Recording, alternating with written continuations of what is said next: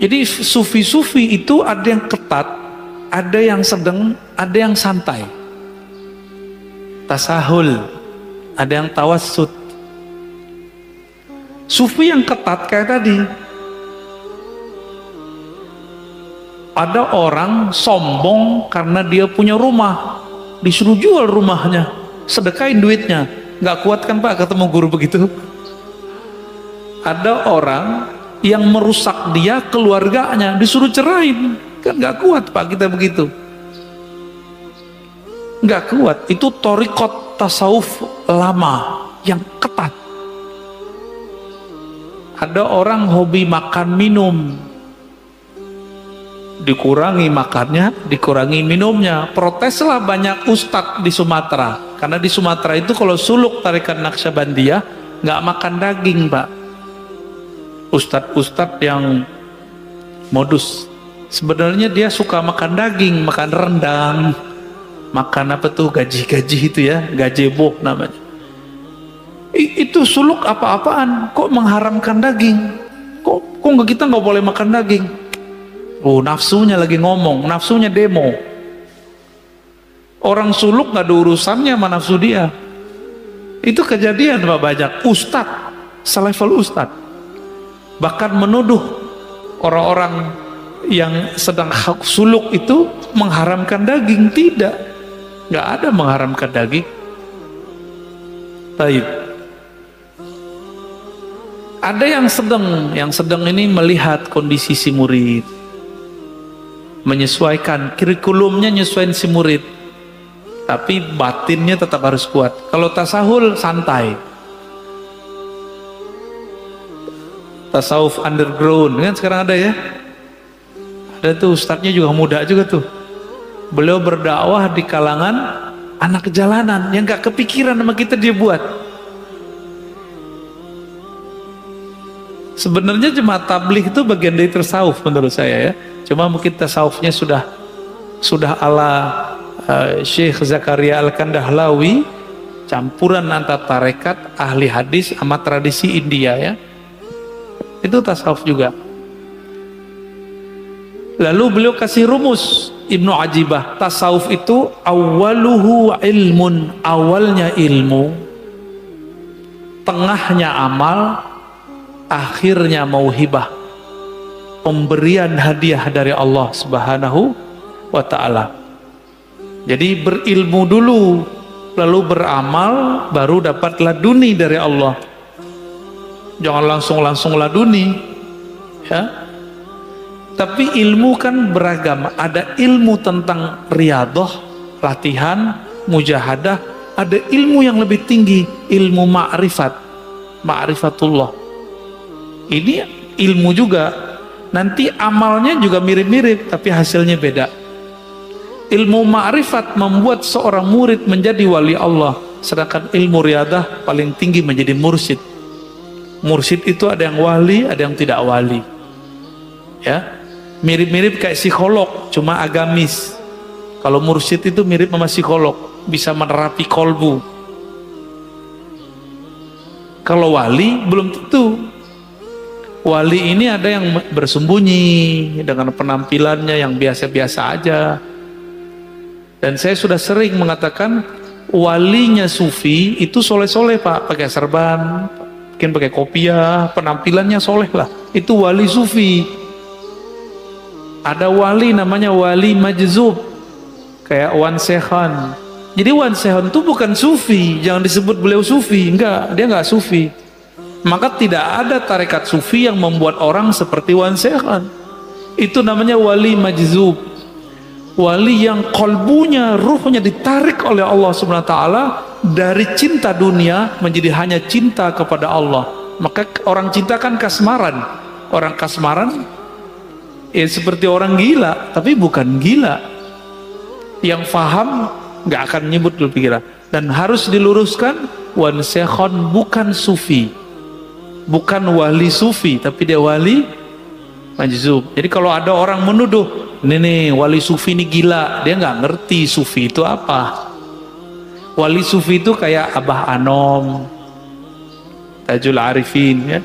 Kayak Abah Sekumpul kayak Mbah Asrori dan ayahnya Mbah Ishak. Mbah siapa lagi nih? Mbah Ahmad Sukanta di Banten.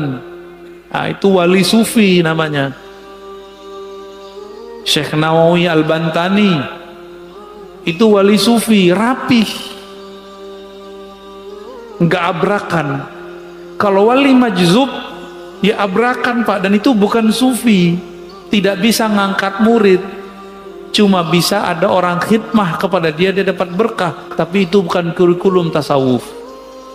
Buka kitab ini nggak ketemu namanya wali majzub bisa dijadiin guru nggak ada.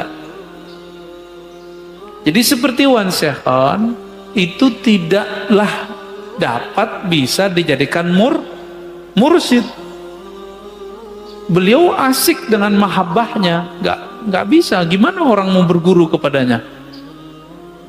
Jadi itu bukan wali apa? Sufi tapi wali apa? Wali majzub. Terus yang kedua yang ketiga ada wali yang menyembunyikan ma'rifatullah dalam dirinya dengan cara melakukan menzahirkan hal-hal yang membuat orang mencelaknya. Disebut wali malamatiyah ini tersebut dalam kitab Imam Ahlus Sunnah Al-Imam Suhrawardi kitabnya Awariful Ma'arif murid dari Syekh Abdul Qadir Al-Jilani yang disepakati ketasawufannya, kesufiannya. Amal matiyah ini kalau dia ketemu dengan orang yang satu channel dengannya baru dia tunjukkan baju kewaliannya. Tapi kalau di depan orang-orang biasa kayak kita-kita ini dia tunjukin yang aneh-aneh pak yang kira-kira kita nggak akan mengira kalau dia menyimpan ma'rifatullah di kolbunya. Masa si wali begini gitu? Masa si wali pakai celana pendek misalnya gitu pak? Itulah kalam Ibnu Atta'illah Sakandari dalam kitab Ibnu Atta'illah. Subhana man satara sirral khususiyah bizuhuri al-bashariyah. Sungguh hebat Allah. Allah sembunyikan agen-agen ma'rifatnya dalam rupa rupa sisi manusiawi. Kadang pedagang kelontong mungkin dia seorang sopir angkot sopir grab siapa tahu Allah alam. Bukan berpenampilan kayak kiai kayak ustadz jadi kalau wali sufi mirip sama kiai. Kalau majzub ya suka-suka dia abrakan. Wali malamatiyah seperti kisah Nabi Musa dan Nabi Khidir. Nabi Khidir menunjukkan maksiat pak di depan Nabi Musa, benar nggak? Maka antum nggak akan kuat ketemu wali malamatiyah, bisa kafir, mending nggak ketemu. Masalahnya di akhir zaman begini, wali-wali ini kan susah diketahui dan besar kemungkinan wali al-ghaus di akhir zaman nanti malah mati ya Nabi Musa aja gagal pak. Tapi dianggap berhasil dengan syafaat dari Allah tiga kali dia ingkar. Bener gak? Nabi Musa bisa ingkar. Loh kita siapa? kita bukan Nabi Musa.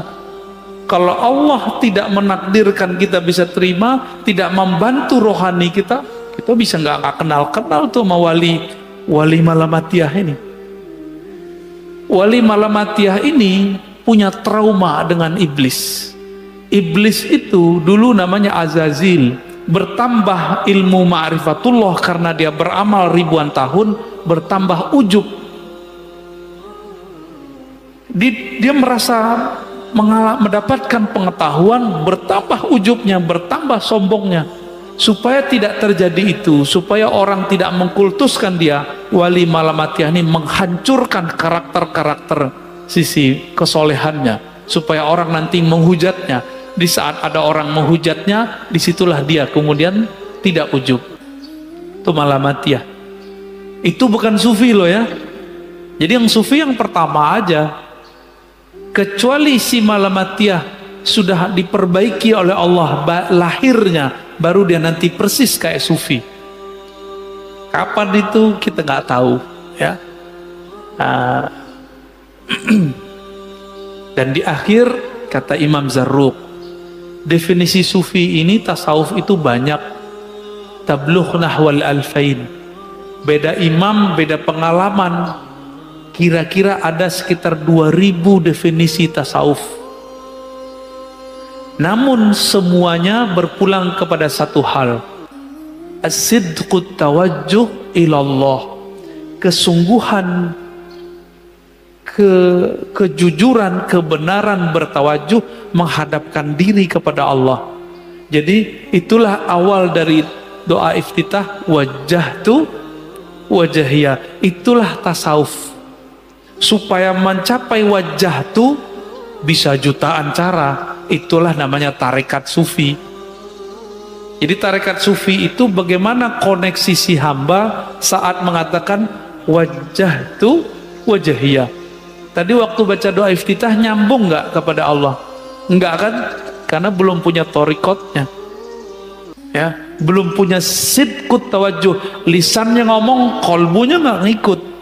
Yang disebut sidik, lisan mengatakan wajah tuh, kolbunya langsung berkiblat kepada Allah Subhanahu wa taala.